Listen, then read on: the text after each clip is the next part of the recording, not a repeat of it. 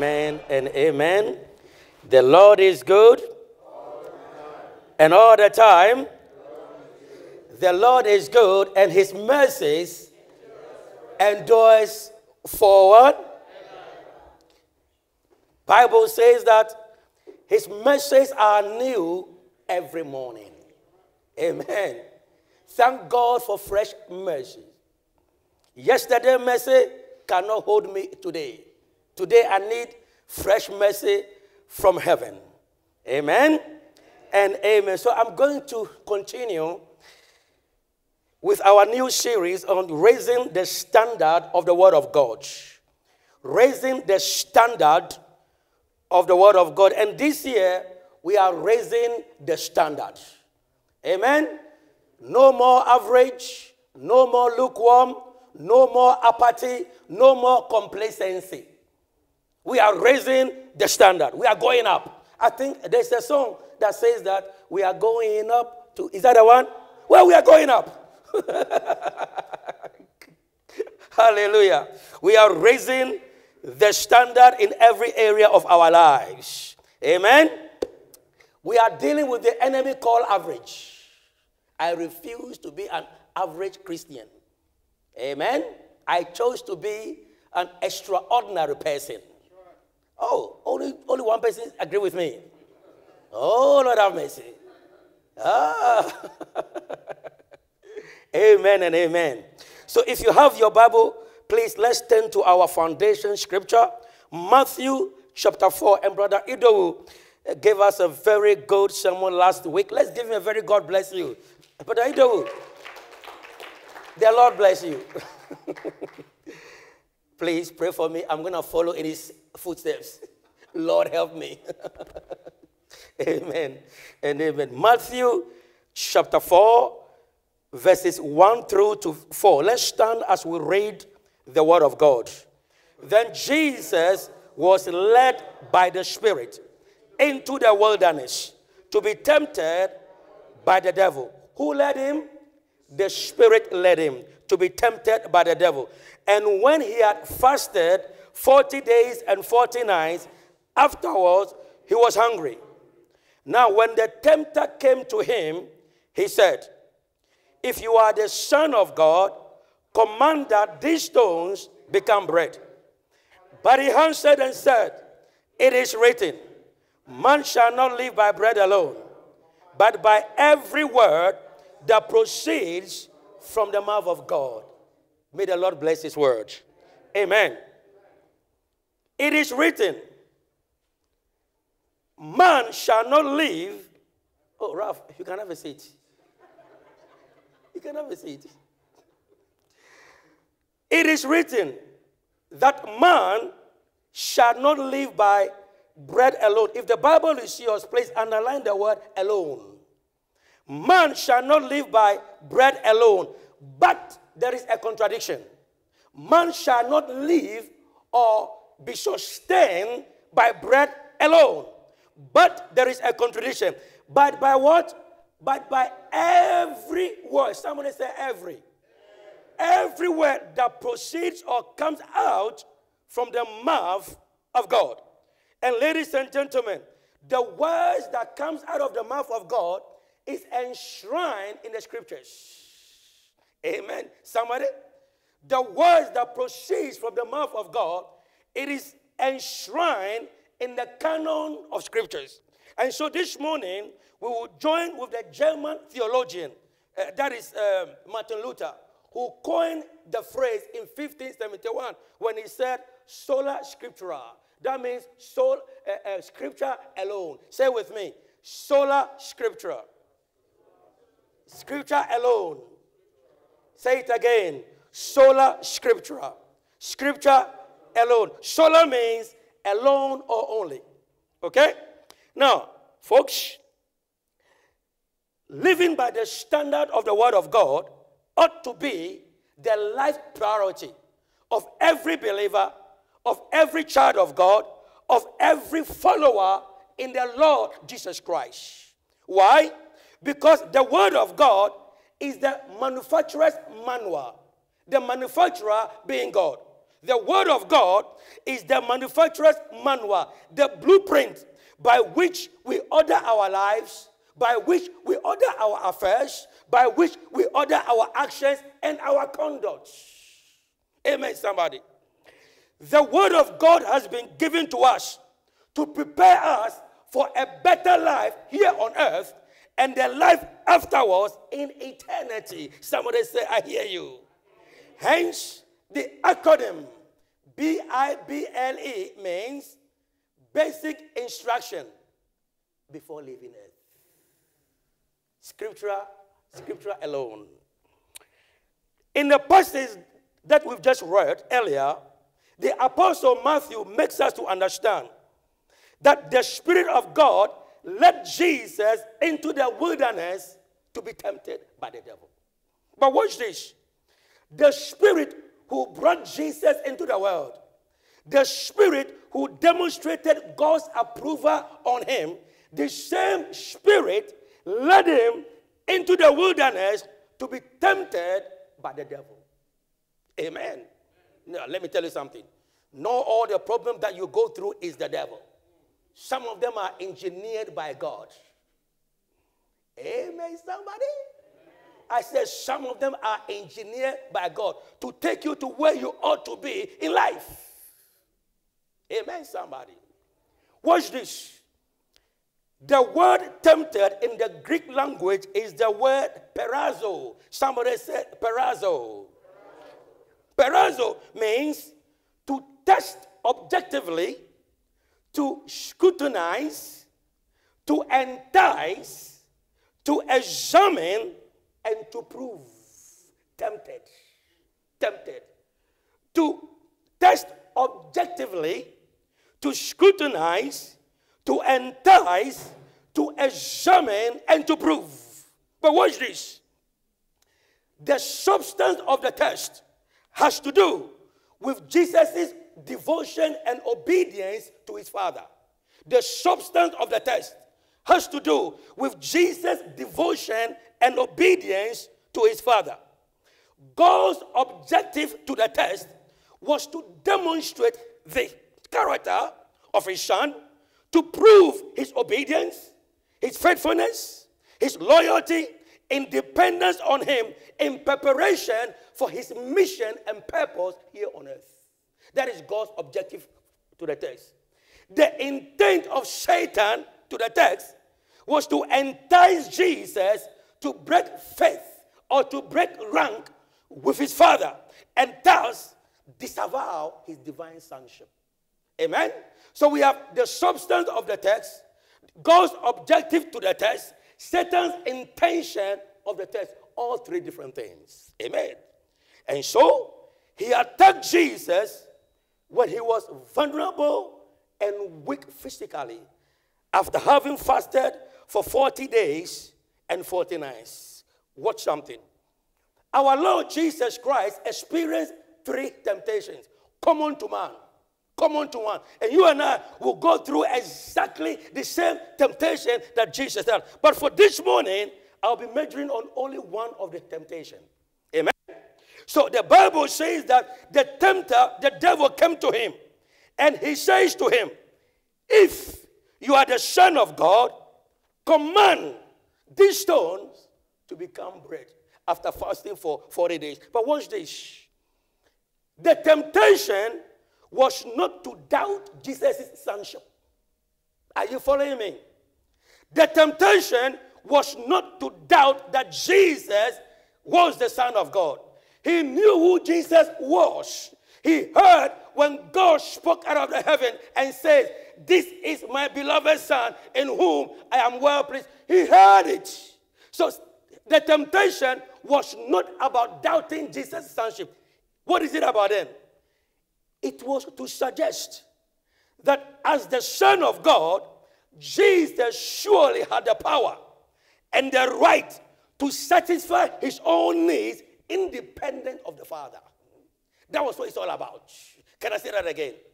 It was about, it was to suggest that as the Son of God, Jesus had the right and the power to satisfy his own needs independent of the Father. In other words, he was urging Jesus to use his sonship, his position, in a way that is inconsistent to the will and the ways of his father for his life. Can I hear amen?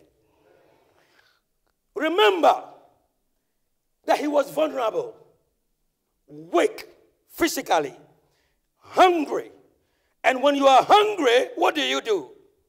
You need to satisfy the condition of your hunger. Is that true? Oh, yes. And today, we have people who do anything, I mean, anything to satisfy the condition of their hunger.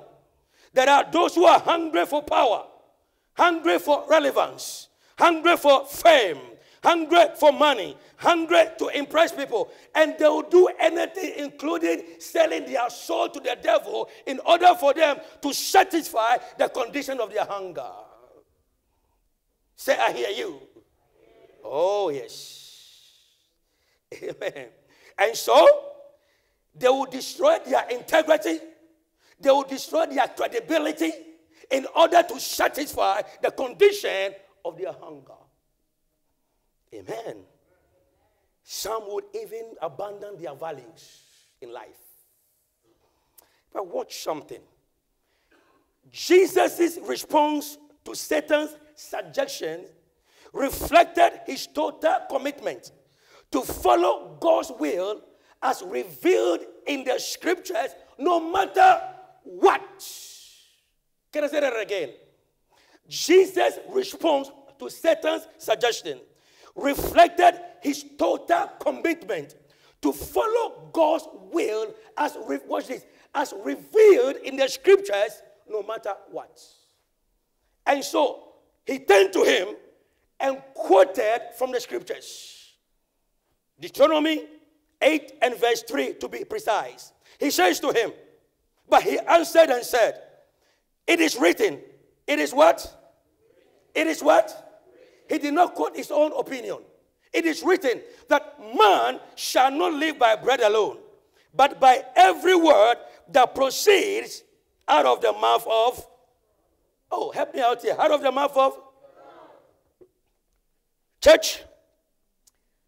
The application of this text was originally to the nation of Israel. But Jesus applied, it, applied this text to everyone, in particularly to himself. Amen. He used the spiritual resource that are available to all people, including himself, namely the word of God sola scriptura. Scripture alone. So he says to him, Man shall not live by bread alone, but by every word that comes out of the mouth of God. Recorded where? Where is it recorded? Where is it recorded? In the canon of Scripture. Amen. That means that the Word of God must be essential to the life of the believer or to the follower of Christ if we are to live the life that God wants us to live, as it was in the life of Jesus. Amen. So he says that man shall not live by bread alone. Now, the word man here in the Greek is the word anthropos. Say anthropos. From which comes the word anthropology, which means the science or the study of human beings, anthropology. But anthropos means human. So that means that the word in the text does not refer to gender, but it refers to a race called the human race. Amen? And amen. So Jesus says that man shall not, all humans, humans, male and female, shall not live by bread alone, but by every word that proceeds out of the mouth of God. Now, watch this. The human makeup consists of a tri- tripartite. Say tripartite. It means that we are a division of three. We are spirit beings. We have a soul, which have to deal with our intellect, our will, and our emotions. And then we have a physical being. So we are spiritual beings, we are psychological beings, the soul. And then we are physiological beings. Say with me spiritual beings, psychological beings, and physical beings. Watch something. All three of us must be fed and fed well if they are to grow and to become strong. Are you following me?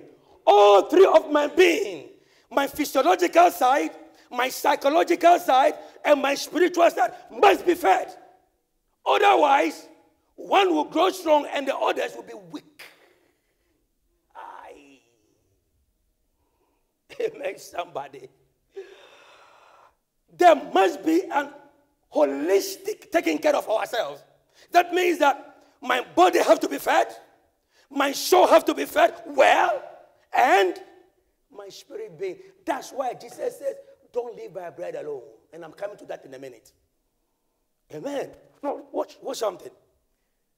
We feed our bodies with bread or food. Is that true?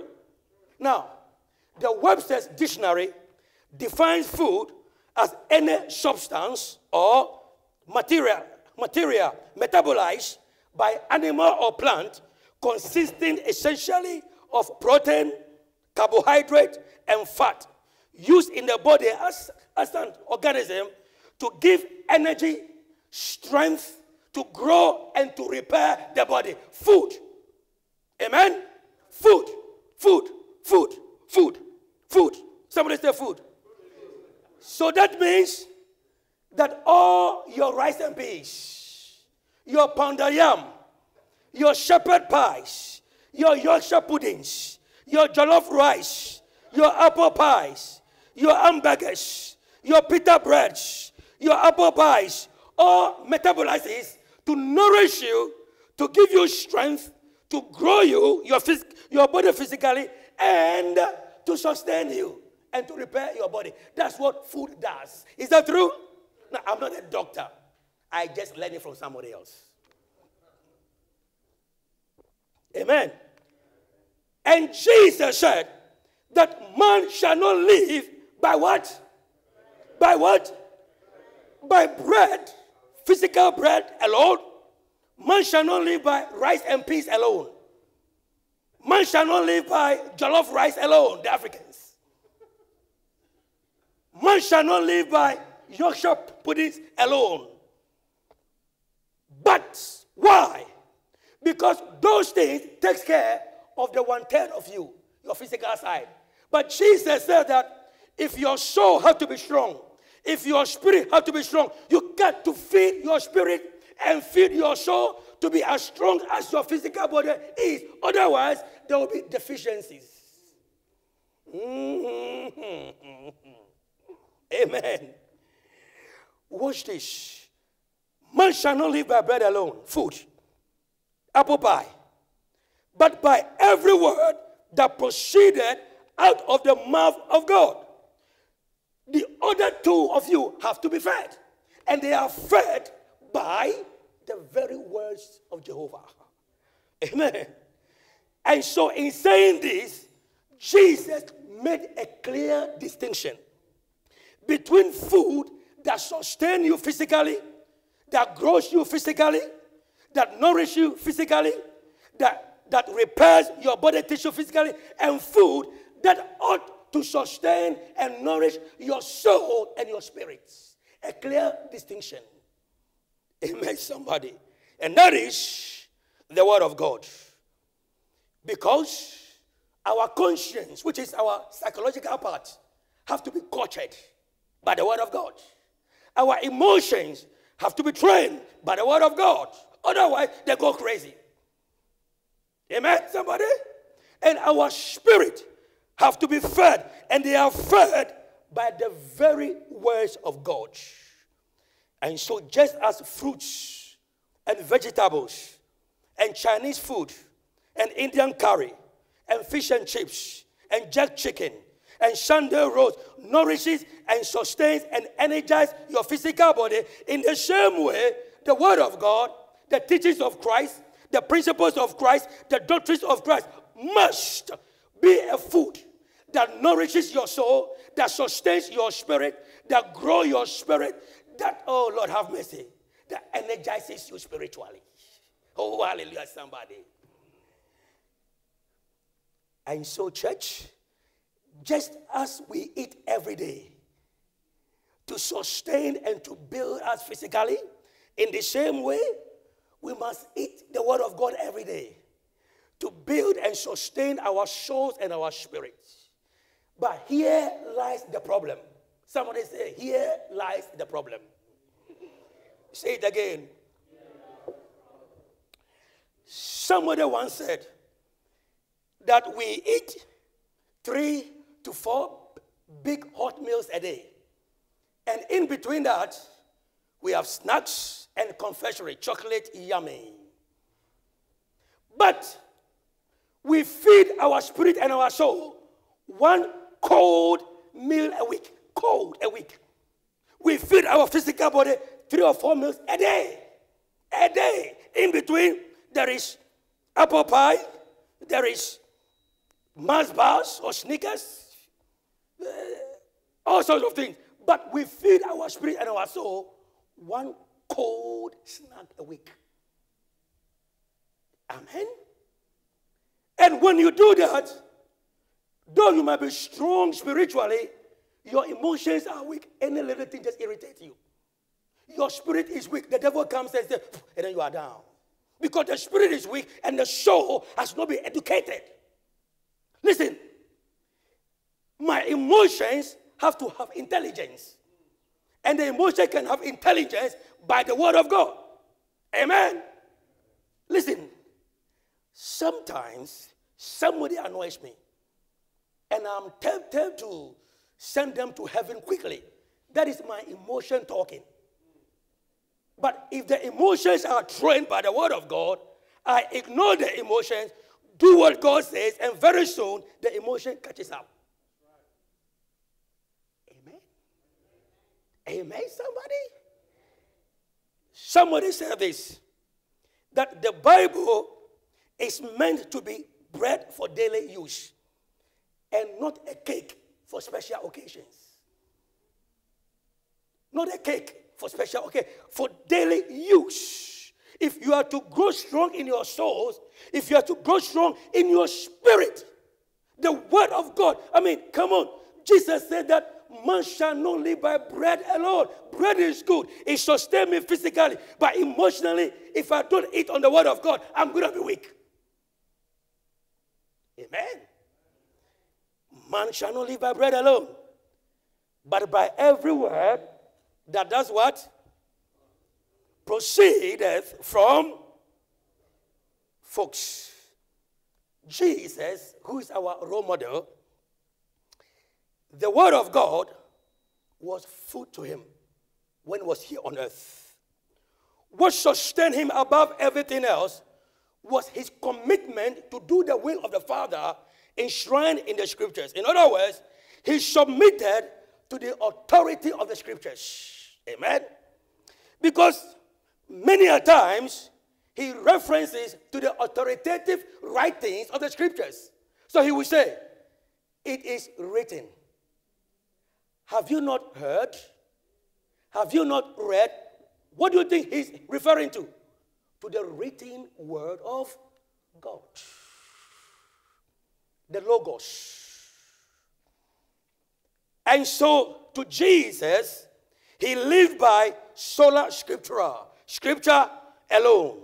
And the child of God or the follower of Jesus Christ must also subscribe to sola scriptura, scripture alone. If you are to live the life that God wants you to live here on earth, you get to live your life based on the word of God, not based on human opinion, but on the word of God. Man shall not live by bread alone, but by what? So why are we not studying the Bible? Why don't we read our Bible? If we are to live by that, why don't we make the Bible the number one in our lives? Why? Rough. Why? Watch this. Scripture alone. John 6, Sister 3 says that the words that I speak to you, says Jesus, they are spirit and they are life.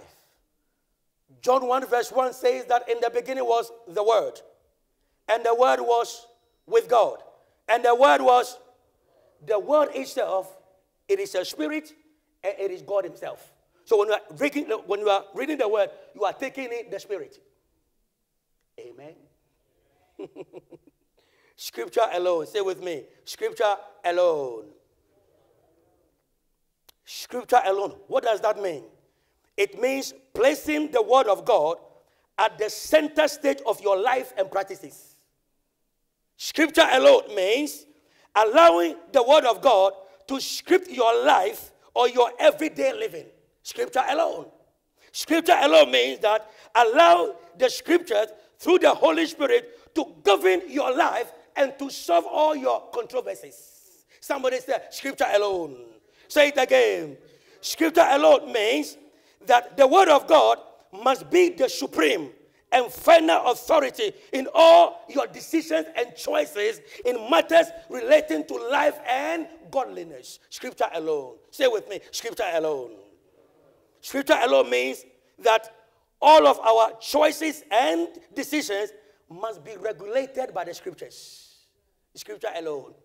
Scripture alone means that the scripture must order my steps, it must guide my ways and direct my path. Scripture alone means that the scripture alone must be my blueprint for living. Scripture alone. So, why are we not studying it? Mm-hmm. Oh, let me let that sink in for a minute. Hallelujah. Now, listen. For God to reign in our lives supremely, we must allow Him to set the agenda through the written word and allowing the word of God to be the final arbitration in our choices and decision making. Allowing the word of God to be the final arbitration in our choices and decision making. Scripture alone. Amen. The biblical scholar and author, the late John Stott, says this. He says, We must allow the word of God to confront us, allow the word of God to disturb your security, allow the word of God to undermine your complacency, allow the word of God to overthrow your pattern of thought and behavior that are inconsistent with the ways and the will of God. Allow God's word to overthrow it. Scripture alone. Scripture alone. Amen. D.L. Moody said that the word of God were not given just for our information, but they were given for our transformation. Amen. For our transformation. Somebody said scripture alone. That means that the word of God is a light that guides you, a counselor that counsels you, a comforter to comfort you, a staff to support you, a sword to defend you, and a physician to cure you. Somebody says, Scripture alone. In Psalm 107, verse 20, the Bible says that He sent forth His word and healed them and delivered them from all their distractions. Proverbs 4 20 and 22 says this that my son, attend to my words, incline your ear to my saying, do not let them depart from your eyes, keep them in the midst of your heart. Why? Because they are life to those that finds them and health to all their flesh. The word of God. Hallelujah. Scripture alone. Scripture alone. Scripture alone. Paul tells his son Timothy, 2 Timothy 3:15. He says that from childhood you have known the holy scriptures, which are able to make you wise for salvation through faith, which is, which is in Christ Jesus. 2 Timothy 3 16 and 17. All scripture is given by the inspiration of God and is profitable for doctrine, profitable for instruction, profitable for uh, reproof, correction, profitable in righteousness, that the man and the woman of God may be complete, thoroughly equipped for every good work. the scriptures.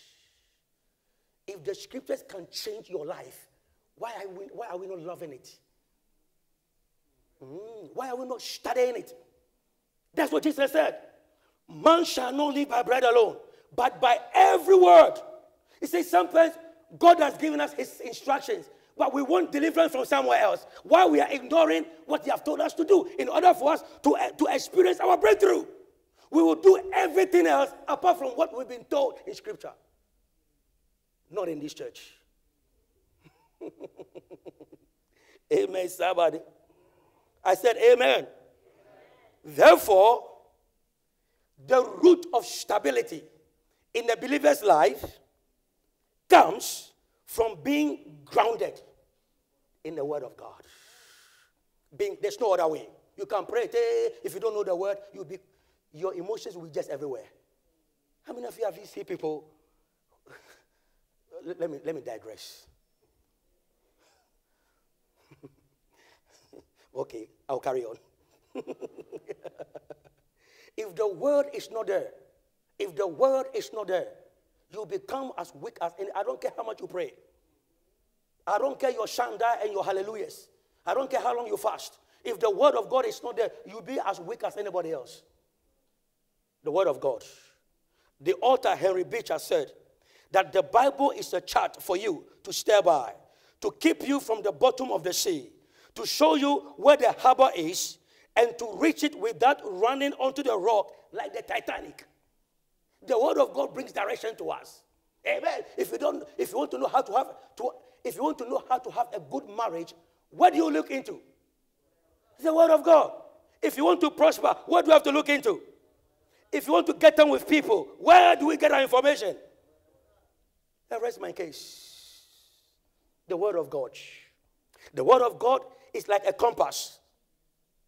Like a compass, the Bible always points you in the right direction, the way that God wants you to go. So that means that we must raise the standard of the Word of God. How?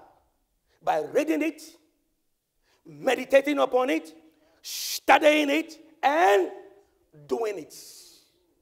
Let me say that again. We must raise the standard of the Word of God. How? By reading it, meditating upon it, studying it, and practicing it. Because you will not see transformation or change unless it is practice. Unless it is practice applied. Amen.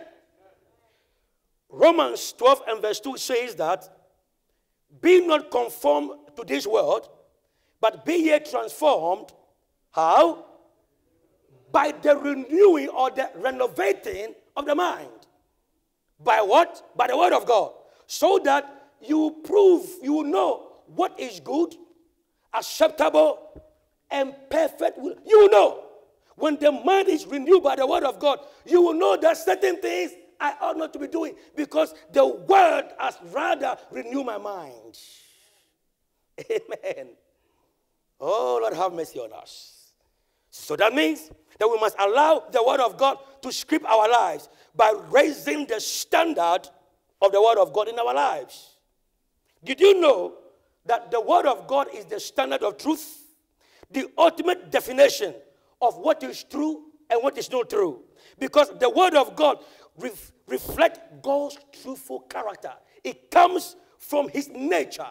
So we must, and I say it again, raise the standard of God above the traditions of men, raise it above political correctness Raise it above cultural norms and above your feelings and your emotions. Amen. Let me have a go with the Ghanaians for a minute. The Ghanaians. Somebody said the Ghanaians. Oh, the guns, rather, the guns. The guns. Paul says that uh, I am not ashamed of the gospel because it is the power of God unto salvation for everyone who believes, to the Jews first and then to the Ghanaians.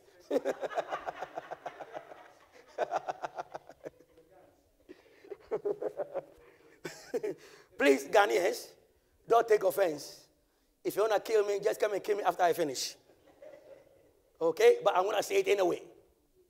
There is a tradition in the Ghanaian funeral thing that really annoys me. Oh, bring it on. I'm bringing it on. I mean, somebody dies, you go and see them, you shake their hands, you give them a hug, everything is fine, and we are all fine. Then comes the day of the wakekeeping. And the widow will see that they say, I'm not shaking hands. What kind of a rubbish is this? I mean, who did this to us? Who did this to us? I mean, I've been shaking your hands. Hey! Now the day of the funeral is, our tradition. From where? Where? Show me which. I'm just announcing to you all Ghanaians. If you are going to keep doing that, I will not attend your funerals. I'm just, I'm just warning you. I'm just because I don't see that in the Bible. It's not written anywhere in scripture. Where do you get it from? I mean, where? Do they even know the history behind it? You are just following it without the history. I mean, what kind of a nonsense is this? I mean, nonsense. Who did this to us? Who did this to us? Amen. I mean, come on, I go to the funeral. I'm very happy. Let me say that. And then they say, we don't shake hands. I mean, says who? I mean, are you for real? I mean, seriously? So, like, I'm, I'm just warning you all the Ghanaians.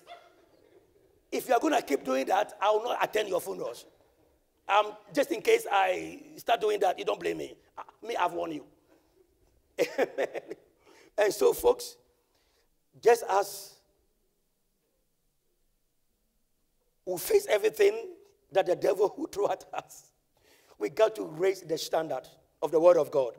And like Jesus, we can say, every time the devil shows up, it is written. It is written. It is written. Jesus tells us in John 8 30, 31, and 32. He has preached a message, and the people have gotten saved. He turns to them and says, Look, if you continue in my word, then and only then you are my disciples. Until then, you are just a convert. But if you want to become a disciple, you got to continue and follow. So he says that if you continue in my word, then you shall be my disciples indeed. And then, as a disciple, you will know the truth.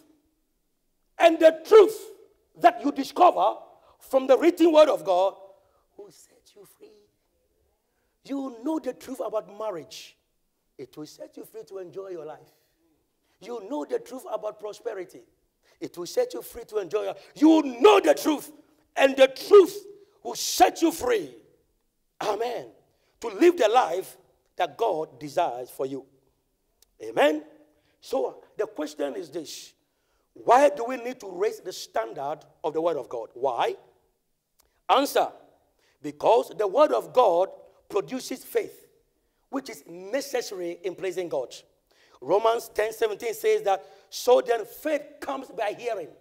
And hearing, watch this, it comes not having heard. It comes by hearing, present continuous.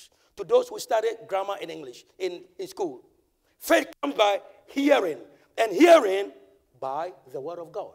I got to keep hearing and keep hearing and keep hearing in building my faith so I can please God and believe God for anything, even to become the CEO of Virgin Atlantic.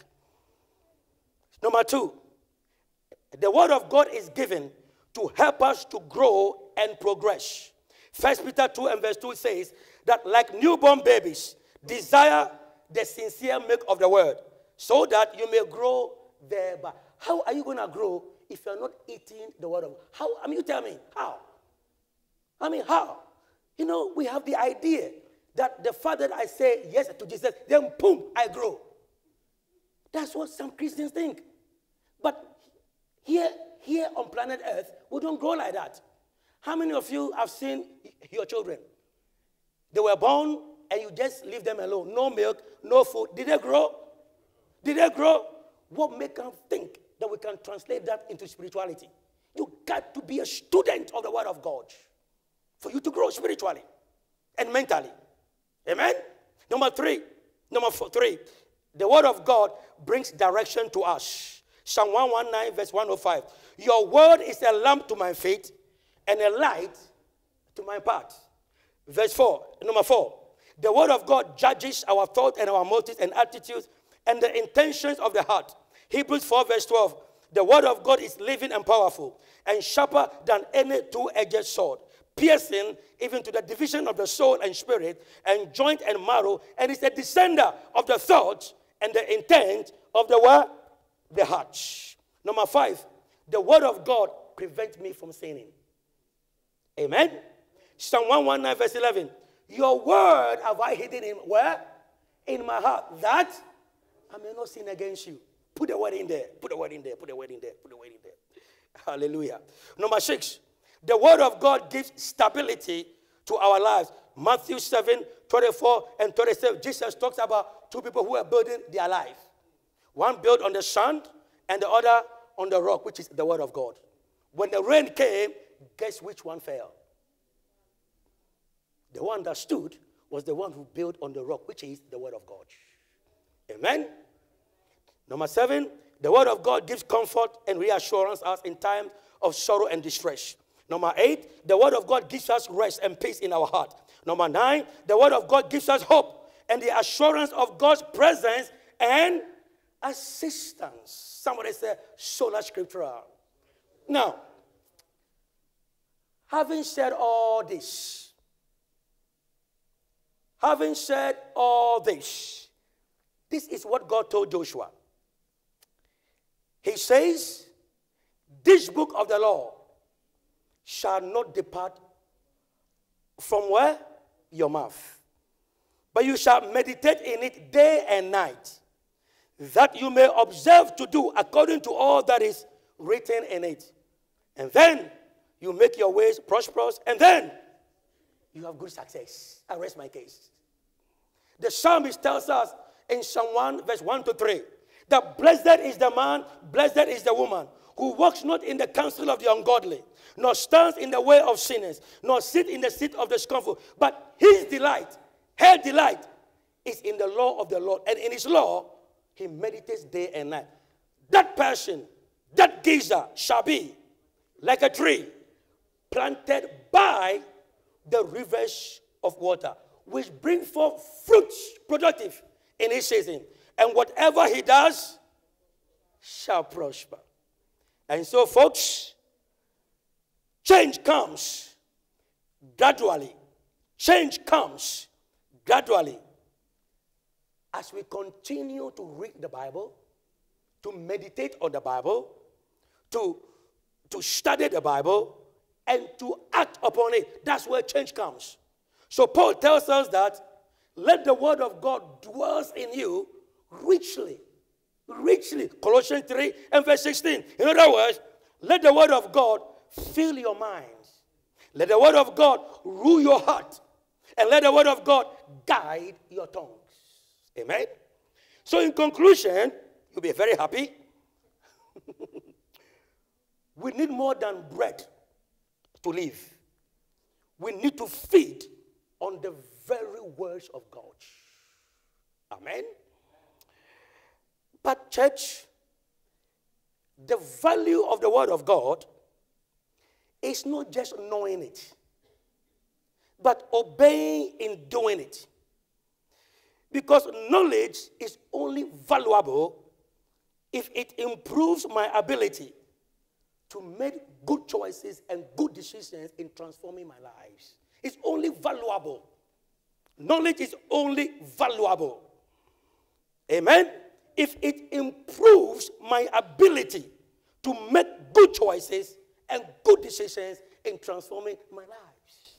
Amen. So don't just read and study it, act upon it, and you will see transformation. The word changes us.